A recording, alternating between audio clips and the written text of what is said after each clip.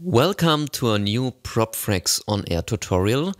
I'm talking about scripting at ProppFrexx on air. So there were many changes to scripts and now I'm producing a new video about scripting in ProppFrexx on air. First of all, please mention at settings the scripts scheduler navigation tab where you can set, for example, allow edit running scripts which is very, very useful. Please don't use AutoScript path, but use additional script libraries. Also, please don't use song history globally at scripts, but at the single scripts. I will come to that later. First of all, what are scripts? Scripts are found at script libraries and with scripts you create your hourly music scheduling or generally speaking your executed program scheme. What you want to be on air. How do you create a new script? Open up script libraries and click on new script. First of all, type in the file name. For example, test scheduling. And you can use a category, for example, testing. And if you have got created a script before, for example, live show soundtracks, etc., you can copy all settings from this script and work based on these settings at your new script test scheduling when you choose the option base script, which you can select here. We are using an empty fresh script. And this is how a script looks like. It seems very complicated, but it's really, really simple when you've understood how it works. First of all, at the beginning of the script library editor, you can choose your name or change it. Then you can set a max history, which is only the script history. And I would recommend you to set this history according to the lowest media library count number of files. For example, my smallest media library is about 250 tracks. So I would recommend you to set up 200, for example, and at the options, set artists according to 180 and 190 for titles because the number has to be between 0 and 200 which you set up here with max history. Also, I would recommend you to set reload at your media libraries, which are used before the script is started. So if you have made any changes to these media libraries, these changes should be loaded when the script is executed. Also, you can set up options for the script generally. I would recommend you to set use last track on final fail. What is this? If you've configured a playlist or a music history at ProppFrexx on Air globally at the global song history or at your script with max history, etc. There are a lot of options to set up the song history options at ProppFrexx on Air. And when you've done so, ProppFrexx tests each script line, for example, get a song out of hits, against the global song history and all other history which you've got configured. And if no track within this media library, which the script is checking for, is anyhow available, then ProppFrexx would skip this script line. So please use use last track on final fail that ProppFrexx doesn't skip any script line when the song history is violated. Also, you can set an initial track, for example, show opener or something like that. About loop line, we will talk later. Another useful options could be add history, which is a single playlist file or something like that, which is attached to the history for the script. All other options like advertising, jingles, archive are not so important and I wouldn't recommend you to use advertising or jingles up here because you can only set a range where one song is picked between this range out of a jingle lib or an advertising lib, which is no uh, very good idea for music scheduling. When you want to create a new music scheduling hour, click on Add at the bottom. Now I've got different scripting modes. Random would pick randomly a song out of your media libraries. Also, you can use load track if you want to load a single track, or you can load a single playlist, execute a script within a script. You can use a cardwall library for picking up one jingle or drop in. You can use AdWord slots, new slots. You can execute commands. All ProppFrexx commands are available here. You can use placeholder, like you can use it at playlist for pick for setting, for example, advertising placeholder with two minutes duration. Or you can use a container script, for example, or advert container, overlay container, or a line in feed container. And least times played and least recently played are other options for picking up one song out of a media library. Least times played means pick up a song which is played least times. And least recently played, pick up a song which was last least recently played. If you use one of these options, please consider to use options up here. Suppress history check and force library history check. These both options needs to be set whenever you're using least times played or least recently played because the song history for both options is handled against the max history or library history and not against the global song history.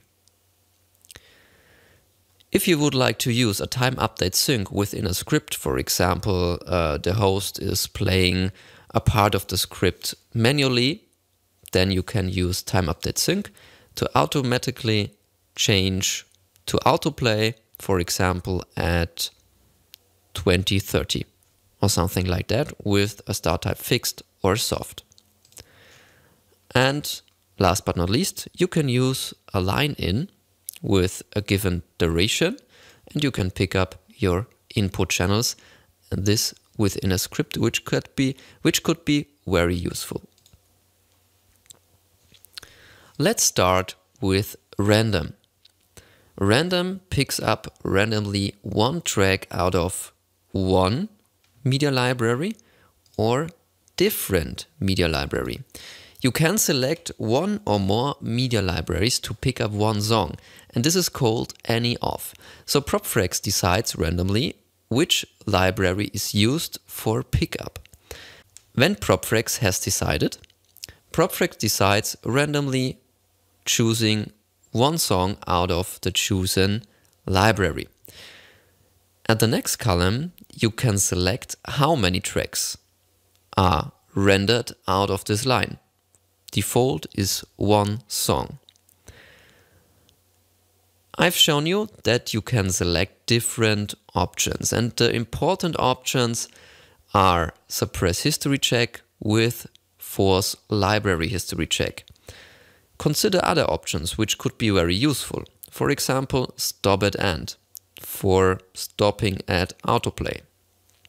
Suppress fading for reports or uh, news container, etc.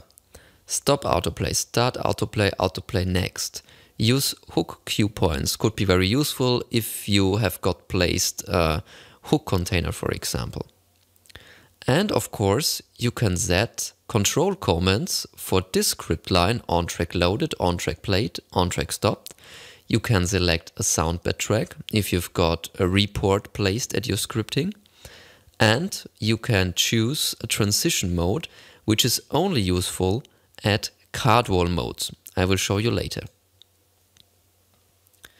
If you've got a very big media library, you can also filter within the script line with the expression builder.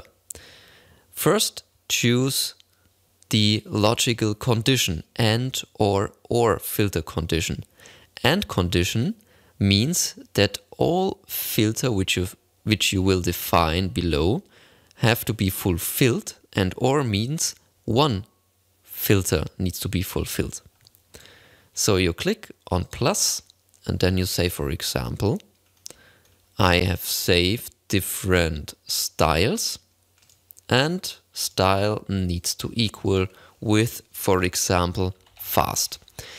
These styles and other metadata options needs to be saved first at each MP3 or other music file which is placed at a media library and then you can use it at the expression builder. I can test which song is found when I select this filter. And you see, no song is found at all at my lib C, for example. But I have set another options rotation called, and if I test this, I see, ah, okay, 86 entries are found in hard, for example. So you see, ProppFrexx is choosing randomly the test lib and if I click again on test, ah, okay, it's using hard again. And now you see lib C is used and I see nearly 500 songs are found. If you've created a filter which you can use at different script lines, consider to save this expression and to load it again at other scripting lines.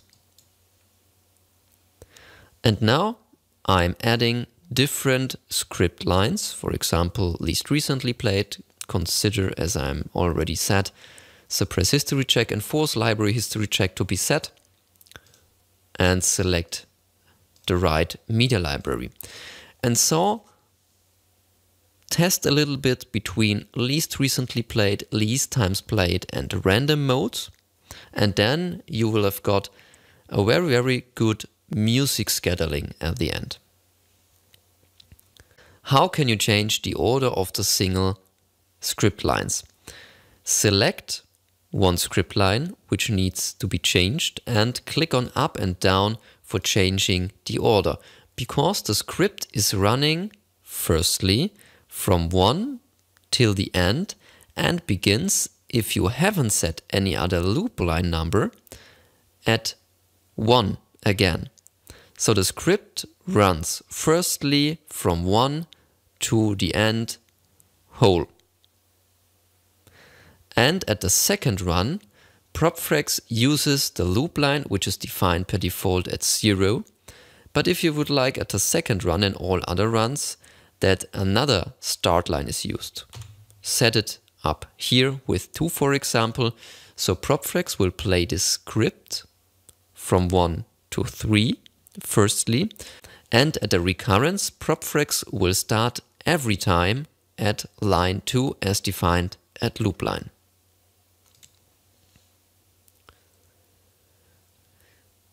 There are also other options, for example, script rules. Consider the following. You've created an overlay with news and jingles, etc. and you've set up different card wall jingles at your script. So it could happen that two jingles are played together. For example, a closer jingle at the overlay scheduler and a jingle from the script. And this should never happen. So with, with So with script rules, you can define previous track conditions and current track conditions. And if both conditions match, you can set up suppress or defer. For example, add, then you're using the expression builder. So I'm using media type equals, then I'm selecting jingle, which is my previous track condition. And the current track condition is also media type equals jingle. And if this happens to automatic jingle, automatic advertising, random, card wall, advert, news, and so on, use the action suppress or defer. I would recommend you to use suppress because a deferred jingle doesn't make any sense. And you can use different script rules and add it up here. I already showed you that you can create a jingle within a script. This is very simple, so select the mode card wall and then select the card wall library, for example, drop-ins. And after that, I'm using another song with random. And if I would like to place an automatic transition on the song above or below, I click at the card wall line on the control, control command symbol and I set transition mode, for example, and with ramp of next track and the jingle should be played with minus 3 decibel. So now, if a song from the old library has a ramp and the drop-in can be placed on this ramp. The drop-in will be placed on the ramp. That's very easy and very useful. Last but not least, you can, for example, use the overlay scheduler, but there are also possibilities with fixed time elements. So you have your little overlay scheduler within scripts also. I can define a fixed time element, for example, at 15 after and repeat it every hour with start type. Soft, for example, and can set add. And then I have the same options, nearly the same options, like the script has. And I can, for example, load a track every time at 0, 0, every hour with count 1. So these options are also available. When you're ready with your script, you can test it. Click on test and you will see what the script will trigger for one hour. If you've got any questions, don't hesitate to write me and now have fun with ProppFrexx on air.